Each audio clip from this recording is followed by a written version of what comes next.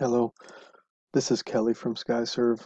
Uh, I wanted to put another updated workflow video uh, up because there are some new features in Metashape 1.6 that I wanted to, to go through. So even if you saw the previous workflow video, uh, I think you'll find value in this one. So the very first thing I'm going to do if, if you guys are new to Metashape is uh, I'm going to configure the screen. To change the the look of the menu structure, we're going to go up here to Tools, Preferences, under Themes. Go ahead and choose Classic. This is, uh, this is a very, uh, well, it's a very important thing for me. You guys might like the old, um, or the sorry, the new updated light style or dark style, but to me this, this is just much better, more efficient use of space, etc. So first thing I'm going to do is add my photos. I'll go ahead and uh, add these photos.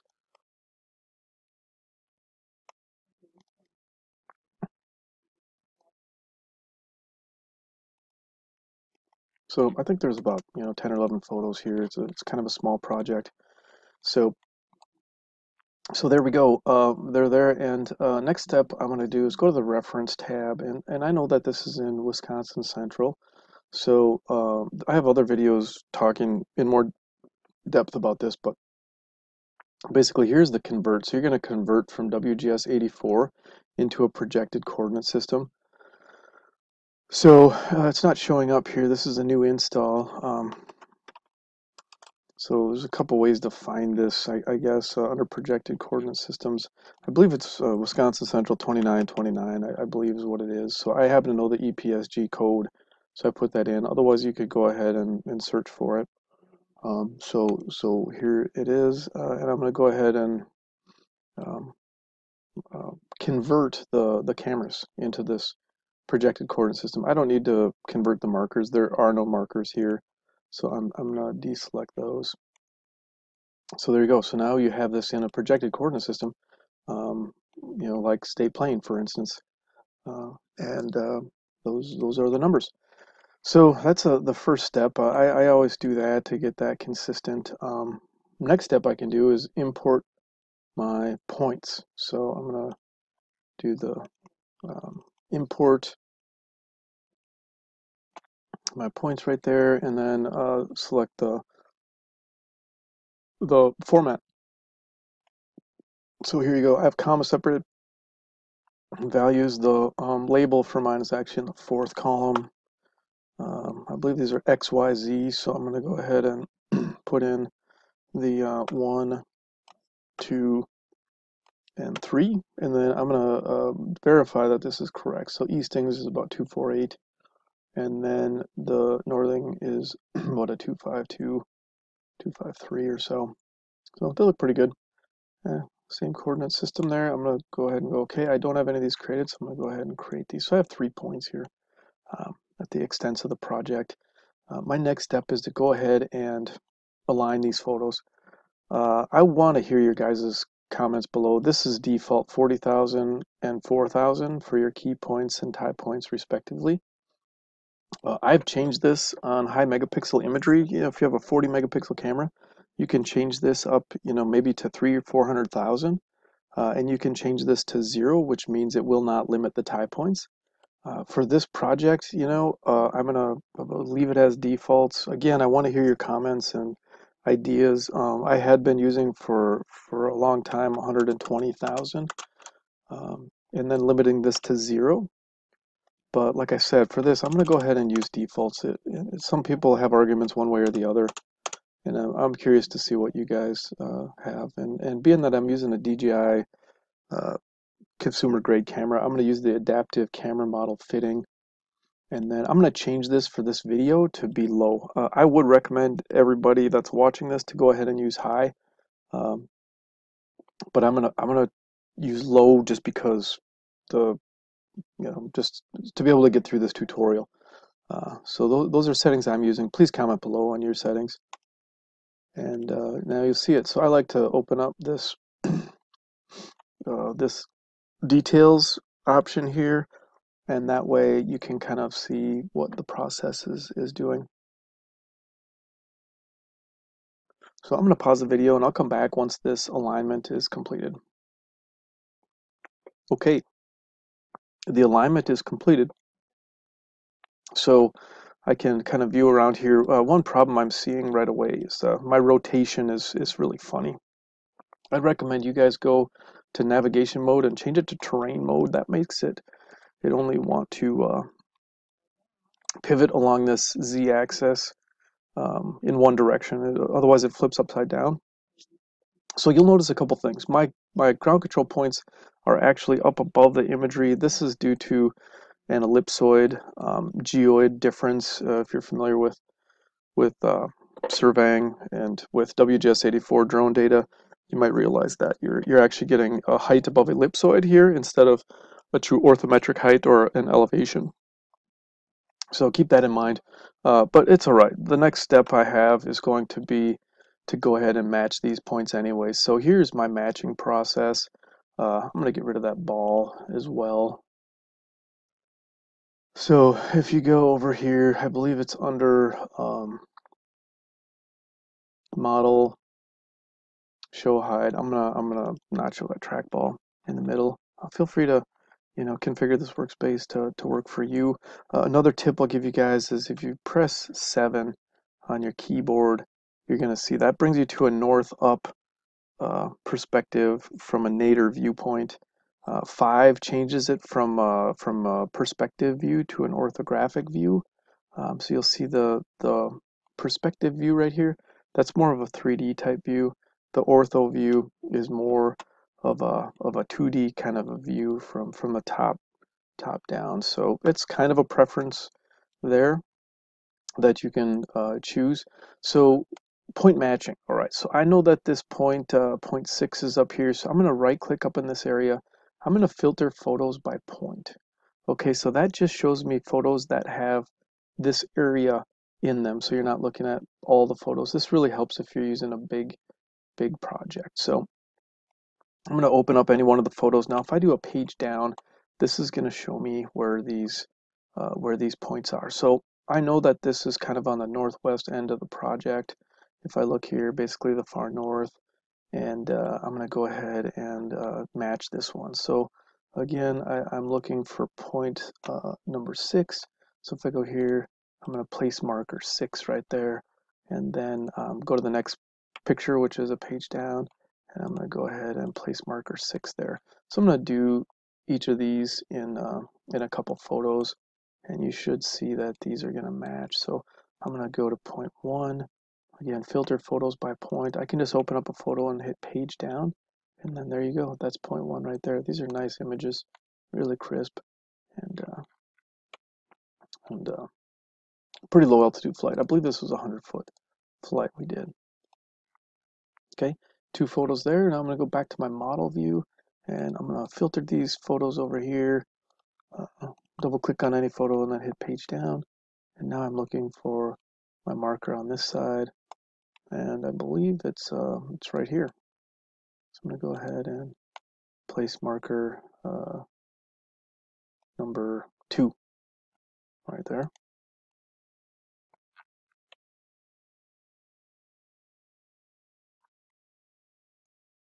Place marker two. Okay, so now I'm going to go back into the model view. This is one of the the most uh, drastic points in your entire processing uh, process here. I'm going to update and optimize. So if you hover over here, this is an update.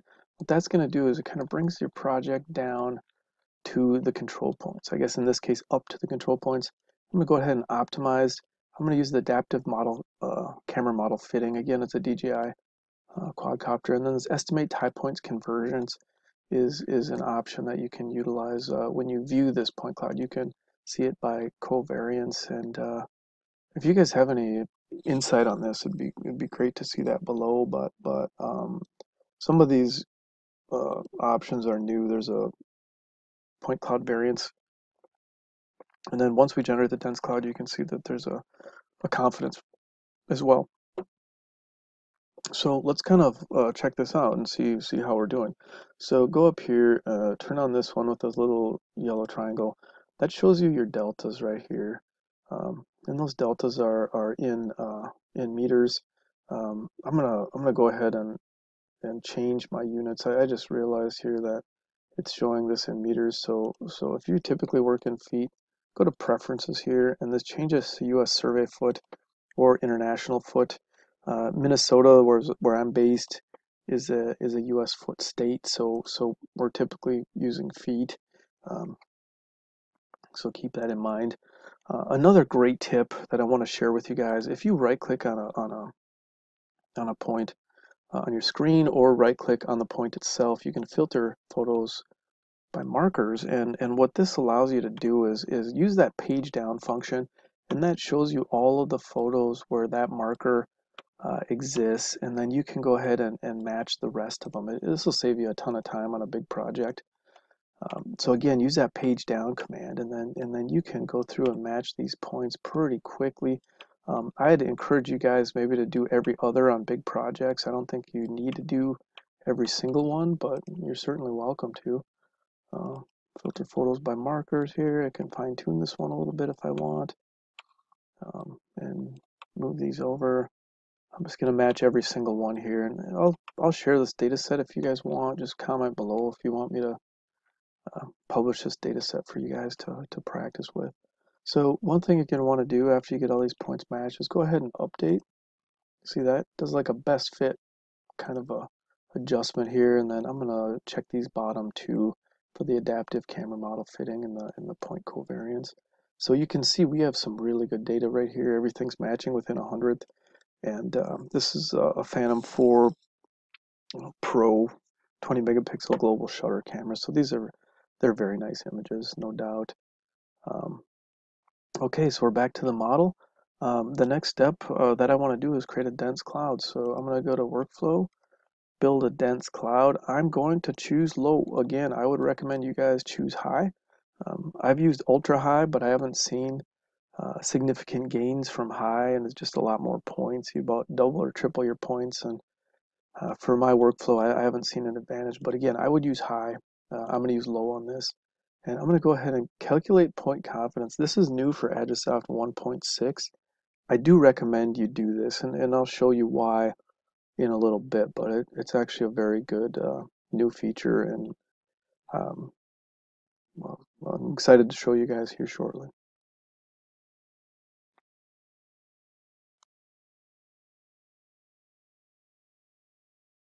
Uh, yours is going to take longer if you do high. This will only take a few seconds uh, on low. It may or may not be sufficient for your project. I wouldn't recommend it for production work.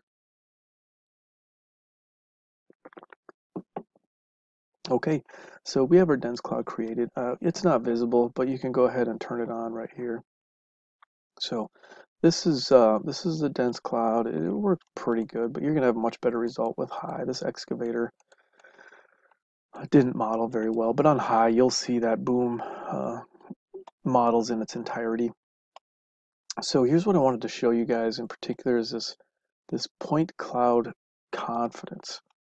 All right, so now you can see that basically in this, in this scenario, as these points get farther out, there's less and less confidence in the, in the, in the construction. Um, this is a new feature to Agisoft, and it's been super useful to me and in my survey practice. So um, you, you will see that there's an option up here for dense cloud to go ahead and filter by confidence. Now, I've found that this filter, you know, you can you can filter it up to 255 on the max end. The minimum is what you want to change, and um, I found that basically it's between 0 and 15 is where the range is. So so this is a low image, a low overlap kind of a project. So I'm actually going to use uh, something like 2. Okay, so now you see that took out some points, but not a significant number. I'm going to go back and uh, filter by confidence again. I'm going to jump it up to 4. Right, so 4. So that really trims it down. And I'm going to go one more notch. You know, my real goal here is to get this sand pile uh, uh, surface. So I'm going to I'm going to go one more. I'm going to go up to 6. So if I go to point cloud filter, filter by confidence. I'm going to go up to six and see what that does. And that's that's pretty good. I mean, I'm, I'm kind of getting rid of everything on the outside.